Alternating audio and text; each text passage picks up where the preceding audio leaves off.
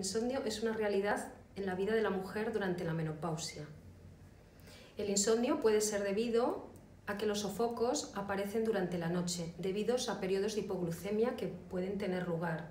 También puede ser debido a que disminuye la producción de melatonina, la hormona natural del sueño, a partir de una determinada edad.